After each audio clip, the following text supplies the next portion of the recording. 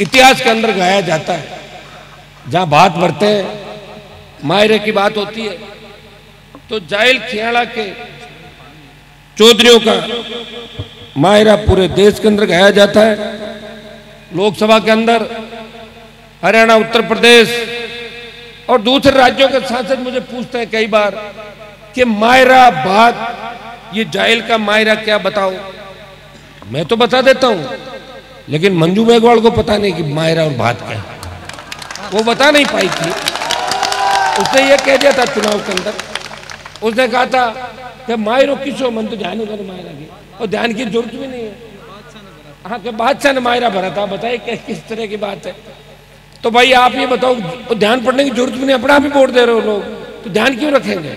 ध्यान तो वो रखेंगे, जो मेहनत करके जीतेंगे चिन्ह आता हाथ का तीस, चालीस हज़ार वोट तो हाथ के चिन्ह के पड़ जाते हैं। दस, पंद्रह हज़ार इधर के आखिर में काम बन जाता है। ज़ीरो से शुरुआत करने वाला व्यक्ति जानता है कि जीत क्या होती है, संघर्ष क्या होता है। जिनको पड़ा पड़ा मिल जाता है ना प्रधान तो बना दिया रामकरण जी ने और बाद में एमएलए की टिकट दिला दी। एक बार काम चल गया, बाकी खुद होशियार है, बाकी खुद काम चला लिया, दूसरे वाला आप जानते हो, सारा काम दिल्ली तक। तो भाई एक बार राजनीति के अंदर ले आए, चलते रहे। मुझे तो इस नागौर के अंदर मैं ये नहीं कह रहा हूँ। नए बच्चे जीते विधायक सारे मेरी तरह नहीं हो सकते। मैं तो सत्रह दिन की भूख हड़ताल की थी, जेल के अंदर। और 22 किलो वज़न कम हो गया था। आज के नेता तो एक दिन भूखे नहीं रह सकते। दो दिन भूखा रहने घर क्या कहीं मरो ला आओ पाचा वापिस। तो भाइयों, हनुमान बेरीवाल की तरह नहीं हो सकते। लेकिन दस परसेंट तो काम कर लो। मैं सारे विधायकों को तो नहीं कह सकता। सारे विधायक कैसे क्या आप जानते हो? लेकिन मैं इतना कह सकता हूँ कि जो दस विधायक जीते नागौर में, इस बार ज़्यादातर वापिस अपने घर चले जाएँगे, दोबारा ज़्यादातर। ठीक है? और सबसे ज़्यादा जो भ्रष्टाचार हो रहा है, उसका मैं आपको बता दूँ, नामा नंबर एक और जाइल बराबर नामा। इक्यावन नामा और उनचास जाइल ये जोड़ा है दोनों का, नामा और जाहिल वालों का भ्रष्टाचार के अंदर। तो भाइयों, अब मैं किसी महिला से लड़ता नहीं, मेरी आदत है। इतिहास गवाह है कि वीर कभी महिलाओं से नहीं लड़ते। वो भी हमारे मेघवाल समाज की महिला है। तो मैं वैसे मेघवाल समाज को इतना ज़्यादा मदद करता हूँ, हमेशा साथ रहता हूँ। मेरी पार्टी तो ऐसी है, जो शेड्यूल कास्ट के दो एमएलए अगर जीते तो आरएलपी से जीते।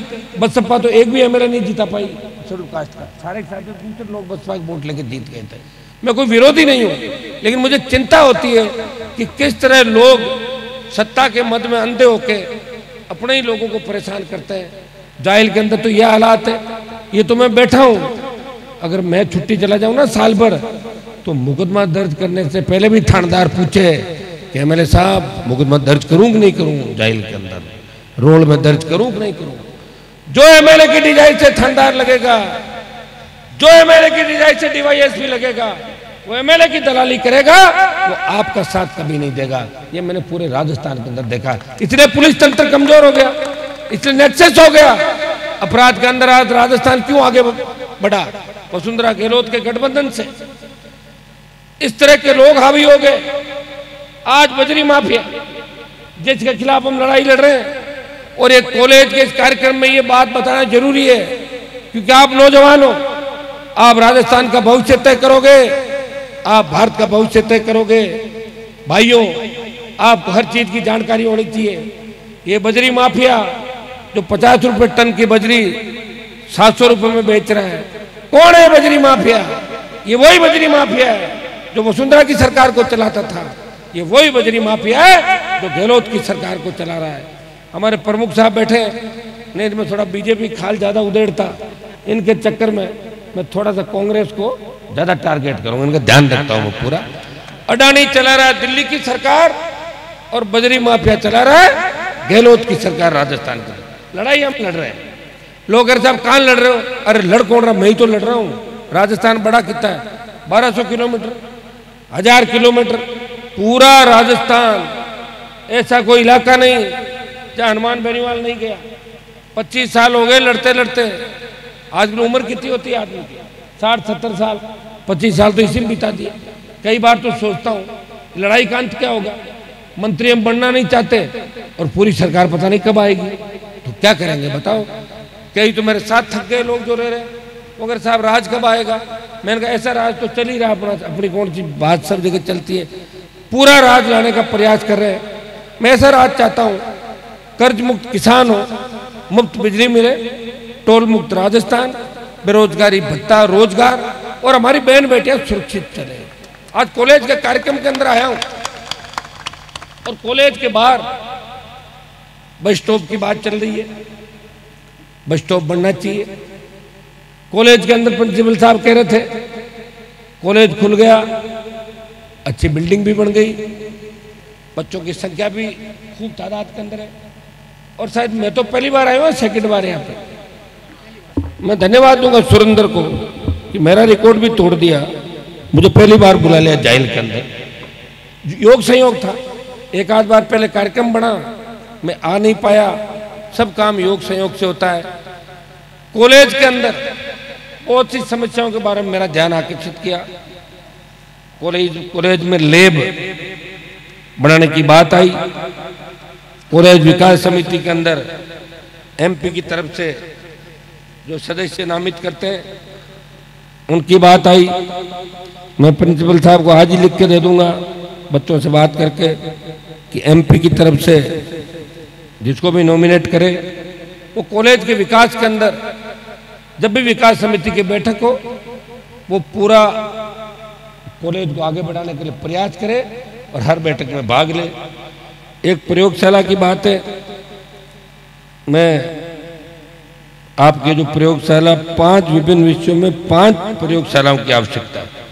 आपकी जितनी भी आवश्यकता है जाइल के अंदर फिजिक्स, केमिस्ट्री, बोटनी, जूलॉजी और जोग्राफी ये सारी जल्दी से जल्दी लेब आपके बनवाएँगे जाइल के अंदर।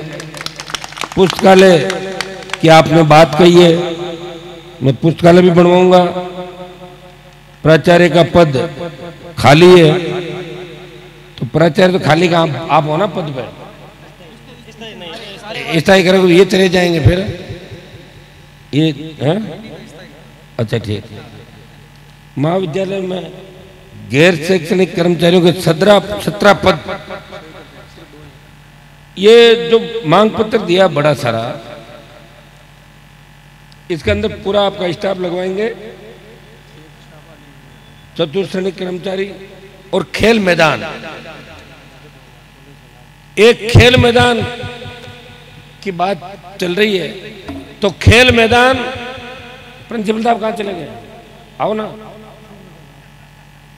खेल मैदान मतलब अपना इस ज़मीन के अलावा भी ज़मीन है क्या? बनवा देंगे। खेल मैदान बना देंगे जाइल के अंदर, मज़बूत, बड़ा खेल मैदान। जो बाहर से भी दिखे खेल मैदान।